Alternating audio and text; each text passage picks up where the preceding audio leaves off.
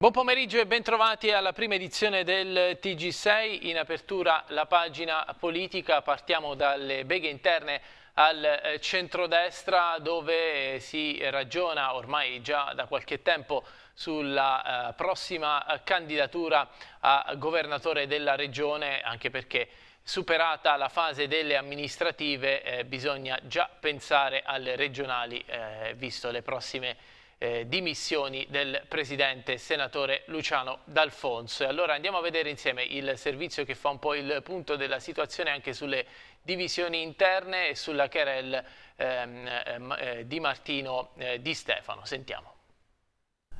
La resa dei conti dentro Forza Italia ci sarà sabato 14 luglio quando a Pescara sono stati convocati gli stati generali alla ricerca di un candidato presidente della regione capace di riportare gli azzurri a capo del governo regionale. Molto probabilmente sarà la provincia di Chieti ad esprimere il candidato azzurro. Di Primio Febbo la coppia di sfidanti con il sindaco di Chieti che però sembrerebbe in vantaggio rispetto al consigliere regionale presidente della commissione di vigilanza.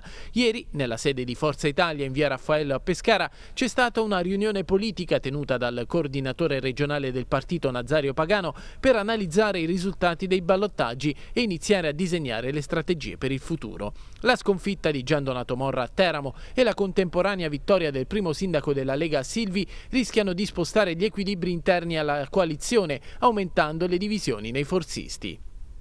Divisioni che arrivano da lontano, dalle candidature alle politiche e che continuano nella sostanza e nelle dichiarazioni alla stampa. Basti pensare alla disputa di queste ore tra Fabrizio Di Stefano e Antonio Martino, giocata a colpi di comunicati. Non è un mistero l'ambizione di Di Stefano ad essere candidato governatore, ma lo stop arrivato dai maggiorenti del partito che fa il paio con la mancata ricandidatura in Parlamento potrebbe determinare una spaccatura insanabile. Di Stefano butta acqua sul fuoco e ammicca la Lega che con il coordinatore regionale Bellacchio Chioma continua a rivendicare e contendere la candidatura a governatore in virtù della posizione di governo e dei sondaggi. Ma io non posso che eh, essere soddisfatto qualora dovesse eh, essere vero questo gradimento ma non ne sono responsabile e certamente è vero che la mia intenzione è quella di eh, provare a cambiare il percorso di una regione che quattro anni a guida d'Alfonso ha letteralmente massacrato in tutti i suoi settori vitali, dalla sanità ai trasporti, dai fondi comunitari all'occupazione. Eh, quello che mi è dispiaciuto è questa reazione scomposta dell'onorevole Martino, eh, che anziché pensare eh, individuare l'avversario da battere nel centro-sinistra del Movimento 5 Stelle eh, ha mm, semplicemente enunciato la sua contrarietà a una mia eventuale ipotesi di candidatura. Forse eh, l'onorevole Martino è poco avvezzo a attaccare la sinistra perché fino a qualche tempo fa era sul palco della Leopolda con a fianco a Renzi e quindi preferisce le guerre interne, ma io credo che con un po' di serenità riusciremo a trovare una soluzione migliore per l'Abruzzo e per gli abruzzesi. Adesso la cronaca ha picchiato la moglie e poi ha sparato un colpo d'arma da fuoco contro il figlio di 20 anni eh, mancandolo e centrando il mobile alle sue spalle. I carabinieri della stazione di eh, Carsoli hanno arrestato un 54enne del posto con le accuse di tentato omicidio, ricettazione e detenzione di arma clandestina e alterazione di armi. La notte scorsa, in seguito alla chiamata di emergenza fatta dalla donna, 44enne di origine albanesi, i eh, carabinieri sono intervenuti e dopo aver bloccato l'uomo hanno ricostruito la dinamica della discussione degenerata per ehm, motivi di gelosia. Durante la perquisizione dell'abitazione a Villa Romana, frazione di Carsoli, i militari hanno rinvenuto oltre alla pistola occultata e detenuta irregolarmente utilizzata per l'esplosione del eh, colpo eh, nei confronti del figlio, altre 5 pistole di cui due modificate artigianalmente con matricola a brasa risultate oggetto di furto denunciato, eh, poi vari caricatori, circa 70 proiettili di calibro diverso e 4 armi bianche. Il 54enne eh, al momento dell'arresto è stato trovato in stato di alterazione psicofisica dovuta all'assunzione di alcol, alcol ed è stato rinchiuso nel carcere di Avezzano. Proseguiamo, andiamo a Pescara dove ieri pomeriggio nella caserma Ermanno Parete è stata eh, celebrata ehm, la cerimonia per il ehm, 244 anniversario eh, della fondazione della Guardia di Finanza. Vediamo il servizio.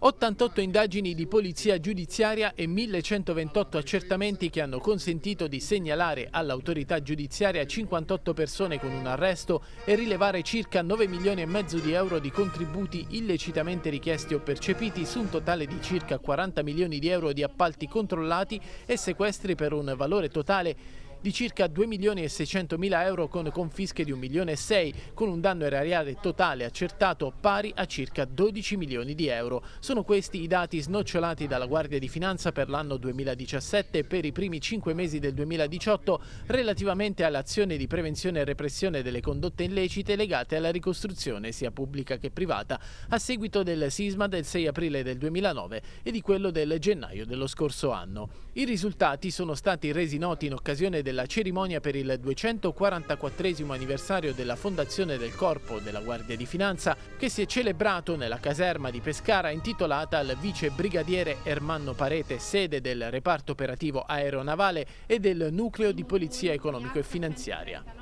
La cerimonia ha avuto inizio con la deposizione da parte del comandante regionale per l'Abruzzo, generale di brigata Flavio Agnello, di una corona di fiori nei pressi della targa commemorativa intitolata al vice brigadiere Parete.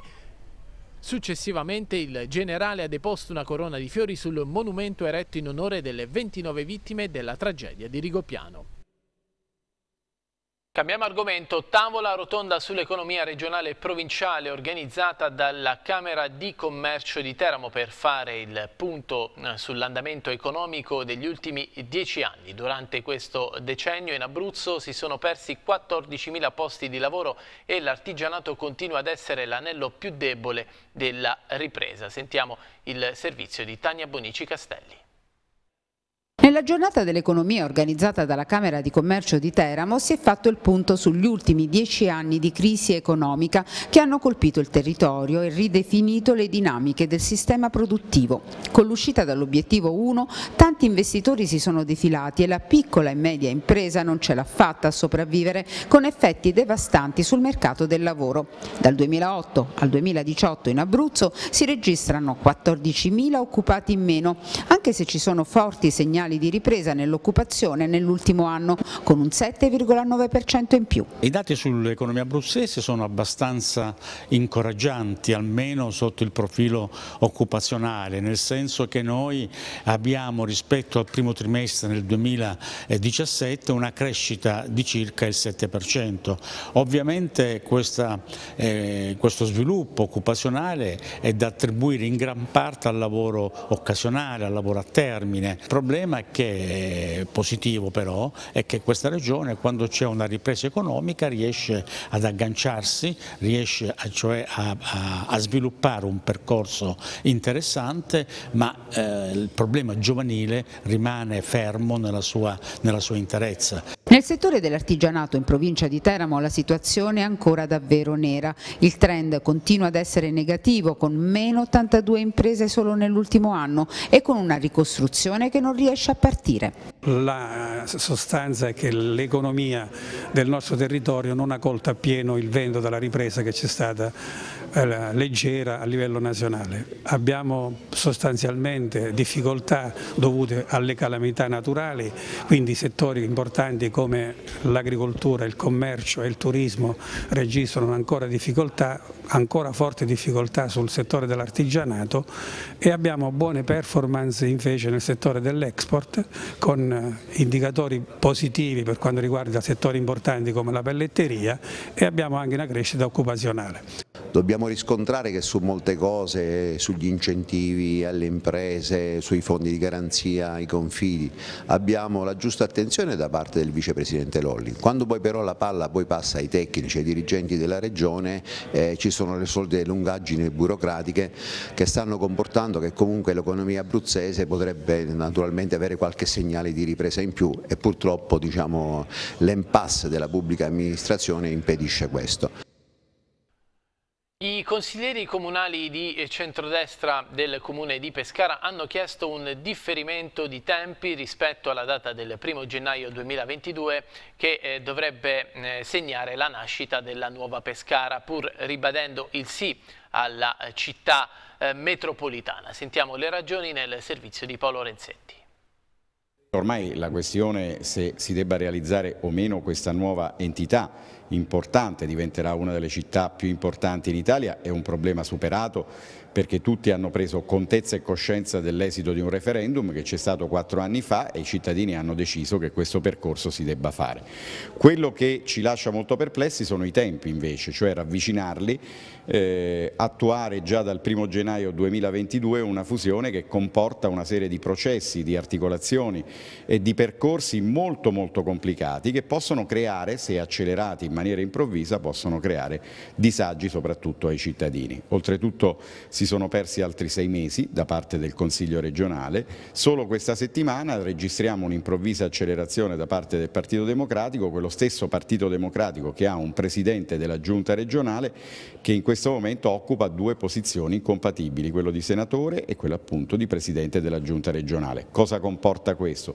Comporta che c'è il rischio concreto che atti importanti come quelli che potranno essere assunti proprio rispetto alla nuova Pescara possano essere nulli o comunque improduttivi di effetti, che un giorno qualcuno con l'autorità giusta possa dichiarare nulli questi atti e quindi dire signori abbiamo scherzato. Allora il tempo è importante, le decisioni sono state assunte, però noi chiediamo di riflettere eh, sul fatto che oltretutto due comuni entreranno in campagna elettorale già tra qualche mese perché si voterà a Pescara e si voterà a Montesilvano nel 2019 e quindi chiediamo che venga assegnato un termine diverso, lo chiediamo ai nostri consiglieri regionali ma lo chiediamo all'intero Consiglio regionale in virtù di questa serie di rilievi. Adesso ci spostiamo all'Aquila, andiamo a seguire il dibattito sul nuovo ospedale che va eh, realizzato nel capoluogo, eh, va fatto in modo serio e con una riflessione aperta secondo il manager dell'ASL Tordera. Sul Mona va, avrà il primo nosocomio antisismico, si lavora anche per Avezzano ed è necessario intervenire sull'Aquila visti i costi di gestione altissimi del San Salvatore. Sentiamo il servizio di Daniela Rosone. Il dibattito sul nuovo ospedale dell'Aquila ancora non decolla. Dopo l'annuncio dato dall'assessore Paolucci di volerlo realizzare non si è mosso praticamente alcunché, perché è chiaro che va trovato un finanziatore privato con i cosiddetti project financing, più volte auspicati dall'attuale manager Rinaldo Tordera. L'ospedale per come è dislocato ha dei costi di gestione altissimi oggi. Anche il sindaco Biondi aveva parlato della necessità di avere un nuovo nosocomio, soprattutto perché sul Mona ben presto lo avrà, sarà il primo antisismico e si lavora anche per Avezzano. Allora, allo Stato non c'è nulla di concreto. Come... Nessun privato si è rivolto a al, al, al, momento no e non appena ciò avverrà ovviamente ne sarete informati. Il tema è molto importante e noi abbiamo apprezzato molto il fatto che l'assessore eh, Paolucci, quindi la Regione, abbiano, eh, abbiano, messo a disposizione una somma intorno ai 40 milioni per finanziare diciamo, ristrutturazioni e o nuove costruzioni per quanto riguarda l'ospedale dell'Aquila. Ricordo che stiamo completando l'ospedale di Sulmona, che sarà il primo vero ospedale antisismico della nostra regione, credo che eh, faremo in autunno il passaggio al nuovo ospedale e abbiamo avviato le procedure di iniziativa ASL per la progettazione dell'ospedale di Avezzano. Quindi una seria riflessione sull'ospedale dell'Aquila va sicuramente fatta.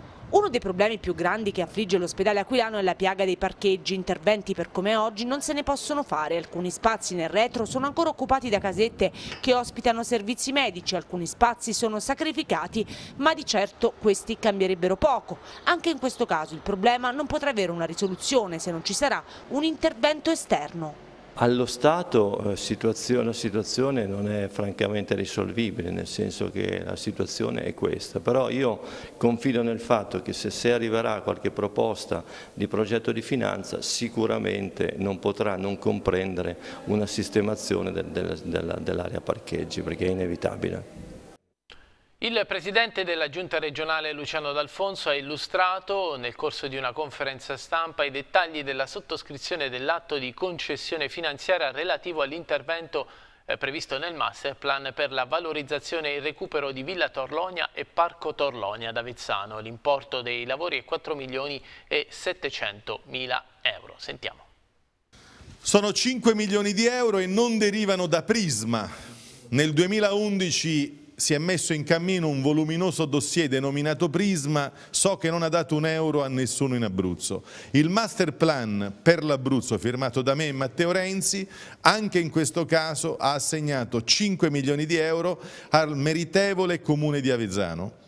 Meritevole poiché sta condividendo in pieno questo piano ambizioso di valorizzazione dei beni patrimoniali che ci sono lì per la Marsica d'Avezzano, ma che abbiamo di grande valore anche in tanti altrove dell'Abruzzo. Arrivano fondi del master plan per Palazzo Torlonia, per il parco di Villa Torlonia d'Avezzano, 4 milioni 700 mila euro, eh, Sindaco, una cifra importante per eh, riportare a nuova vita uno dei luoghi simbolo della città di Avezzano.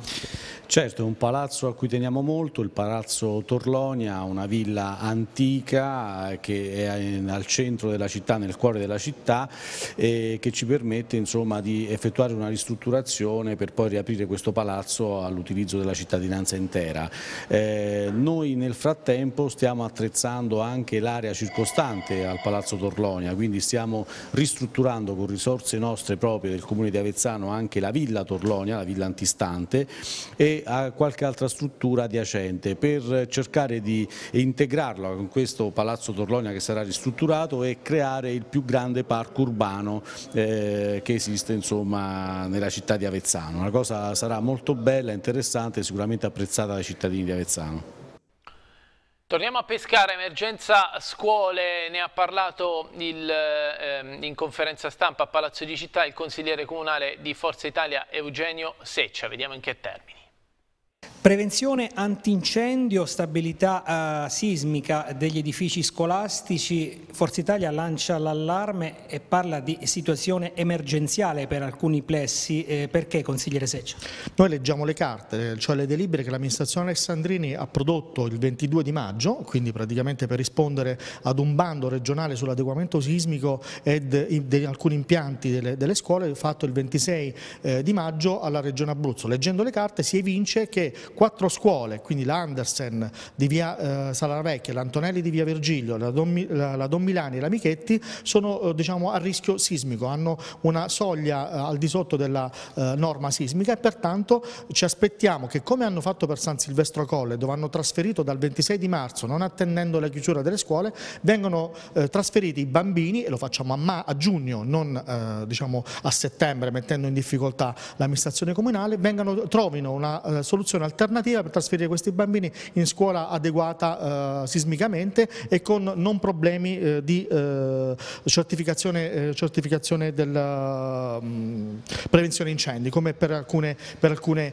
eh, scuole di queste. Una di queste per intenderci è la Michetti che si trova sul via del circuito dove sono i vigili. Ci chiediamo anche se i vigili abbiano questa eh, certificazione oppure no. Ovviamente è una provocazione per questa per sottolineare che non si possono fare gli annunci come ha fatto l'amministrazione Alessandrini e Cuzzi già da settembre dicendo che siamo bravi, siamo belli e mettiamo in sicurezza tutto, eh, spendendo solo la richiesta per la Regione Abruzzo che ha di venire la valutazione, eventualmente la, il finanziamento di questi progetti. Quindi sarà lunga l'iter e non si può ingannare la città dicendo che siamo bravi perché abbiamo messo a norma. Avete fatto solamente richieste e nella linea che avete assunto a San Silvestro ci attendiamo che la, l'assumino anche per queste altre quattro scuole, chiudendo le scuole e trovando alternative. Andiamo avanti, ehm, eh, si risolve, almeno sembra, la situazione dell'appalto per la pulizia eh, nei progetti case, utenti inferociti per servizi eh, pagati e non erogati. Una nuova ditta ha vinto eh, l'appalto a settembre e dovrebbe iniziare eh, riassumendo i dipendenti della vecchia società.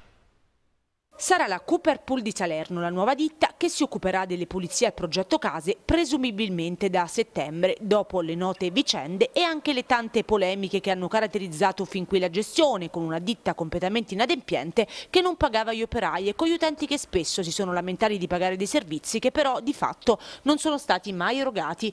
Ma non è la prima novità perché ci sono anche altri interventi che riguardano i progetti case, in particolare cinque interventi, i primi per mettere rimettere mano a questo complesso patrimonio immobiliare in maniera organica dopo nove anni.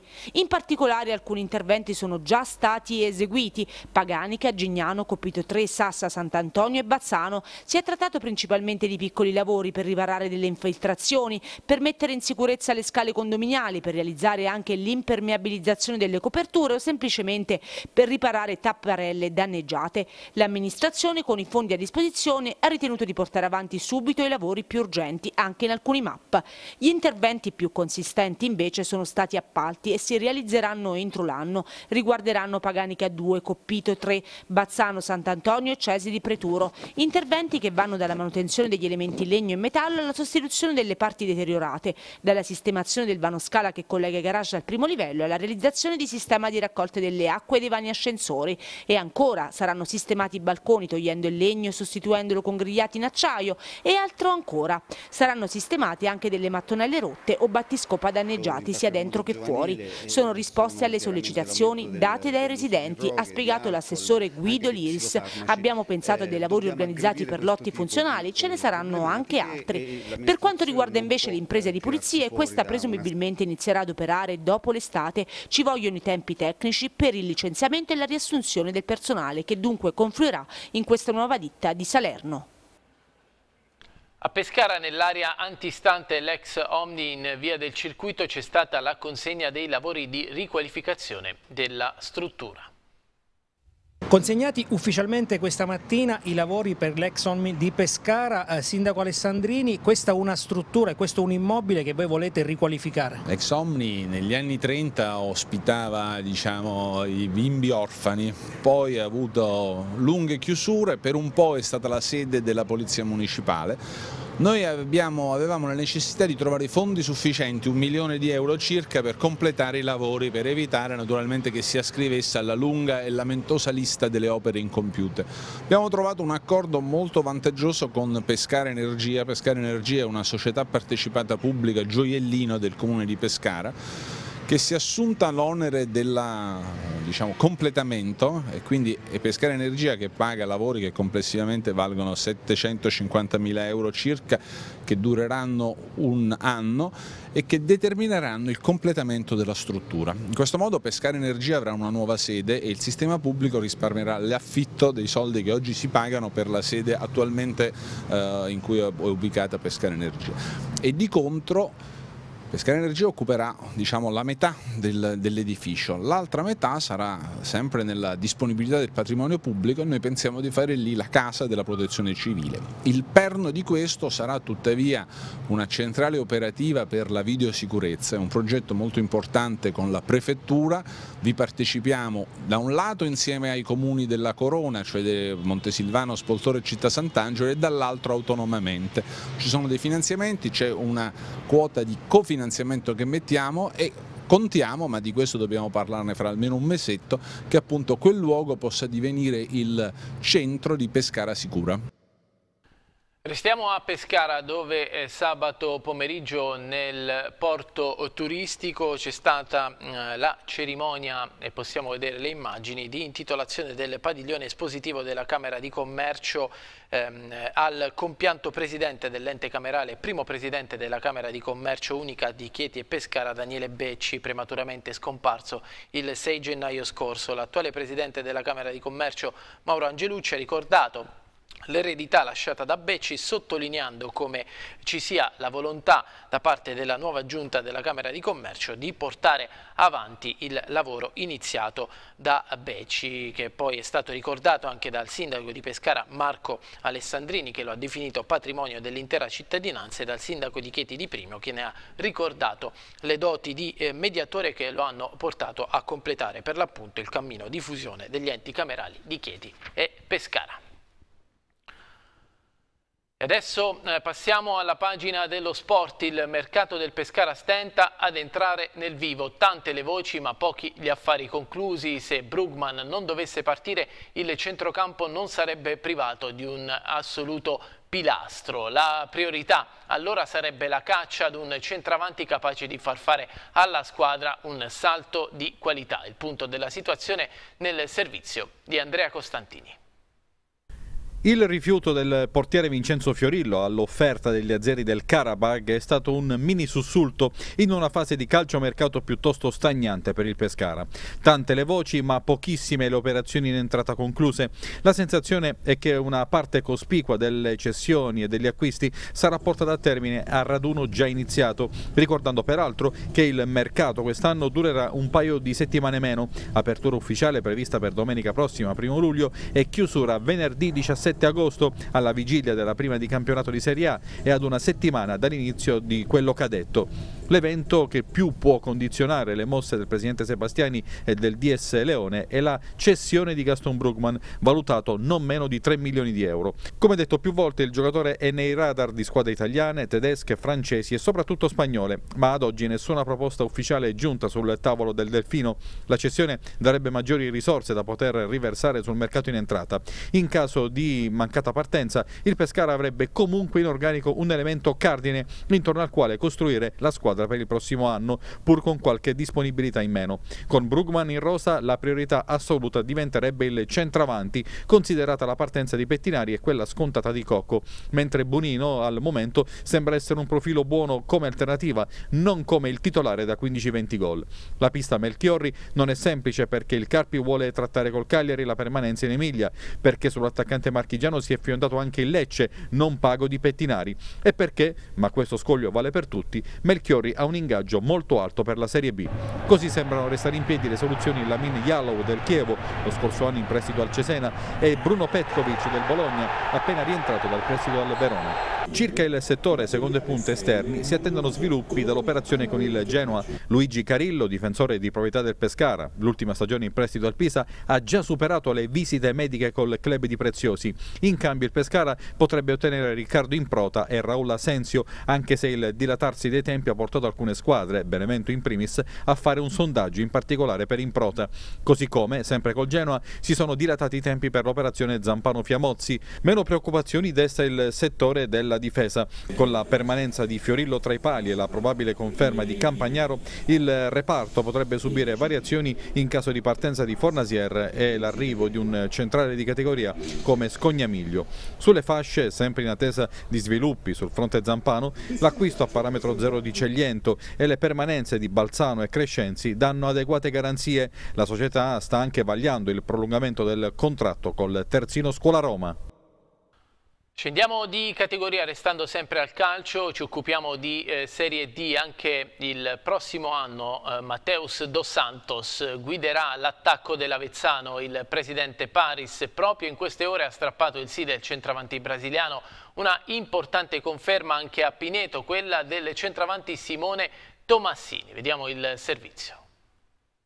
L'Avezzano e Mateus Dos Santos ancora insieme. La conferma più attesa in casa marsicana è arrivata. Un grande sforzo quello del presidente Gianni Paris che ha secondato le richieste del centravanti brasiliano, miglior marcatore del girone F nell'ultimo campionato. L'Avezzano va dunque completando la raffica di permanenze dal tecnico Giampaolo ai pilastri della squadra che si presenterà in aste di partenza come una naturale candidata alla vittoria del campionato. Il modo migliore dunque per cancellare la delusione per la trattativa con l'ex Aquilano Milano Boldrini che si è accasato al Modena.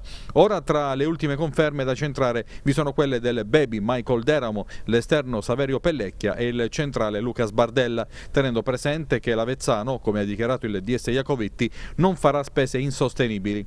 A proposito di attacco, il Pineto ha praticamente sistemato il reparto, dopo l'acquisto di Saverio Pedalino è arrivata la conferma di Simone Tomassini, potenziale di fuoco dunque per la compagine adriatica che si candida ad essere anch'essa una pretendente alla vittoria finale. Chi invece cerca l'uomo gol per la stagione è il Francavilla, anche se il patron Candeloro continua a guardare altri lidi e dopo l'interruzione della trattativa col patron del Teramo Campitelli, ora ha avviato contatti con il presidente Bellini e il suo entourage per tentare di rilevare le quote di maggioranza dell'Ascoli. Il Francavilla aveva anche fatto un pensierino a Dos Santos, ma ora dovrà cambiare obiettivo. I nomi che circolano sono quelli dell'ex Rieti, Luigi Scotto, e dell'ex Teramano, Giuseppe Giuseppe Gambino. Se per alcune società le priorità sono i giocatori, per altre si è decisamente più indietro. È il caso dell'Aquila, dove un passaggio decisivo ci sarà dopodomani, giovedì, quando il manager romano Gianluca Ius firmerà il preliminare per l'acquisizione della maggioranza delle quote sociali e successivamente sarà nominato il nuovo CDA. Subito dopo, salvo colpi di scena, si procederà all'iscrizione al campionato e alle prime mosse relative a staff tecnico e allestimento rosa. Priorità allenatore a San Nicolò e Giulianova. In casa giallorossa il DS d'Ottavio ha tentato la mossa sensazione Ivo Iaconi che però ha declinato. Guido Di Fabio resta allora in pole position ma D'Ottavio ha anche incontrato l'ex tecnico del Chieti Tiziano De Patre e l'ex campobasso Antonio Foglia Manzillo. Nelle prossime ore la scelta. Quella che a San Nicolò potrebbe ricadere sul marchigiano Mirko Cudini, ex difensore di Torino, Ascoli e Salernitana, che nel 2017 ha vinto il campionato di eccellenza delle Marche con la San Giustese.